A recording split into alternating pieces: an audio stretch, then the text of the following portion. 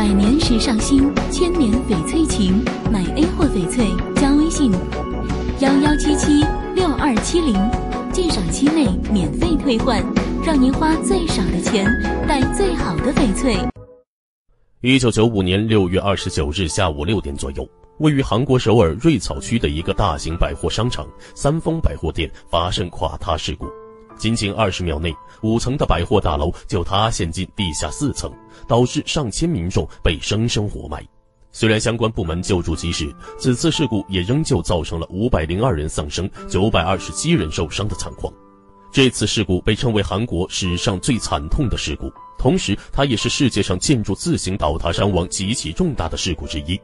究其原因，则是因为三丰百货店一开始就是一个豆腐渣工程。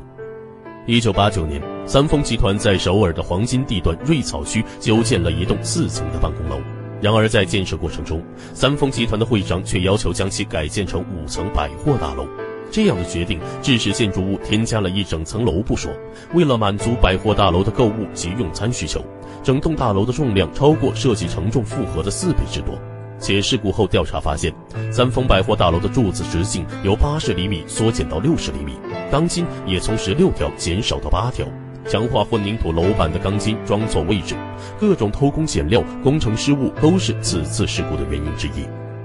一九九零年，大楼竣工开始营业。一九九五年四月，五楼的天花板已经开始出现裂痕，但三丰集团没有理会这一情况，直到六月二十九日上午，顶楼的裂痕数量急剧变大。虽然商场设施经理也进行了一些应急处理，但他们并未第一时间疏散商场人员，才最终导致了惨剧的发生。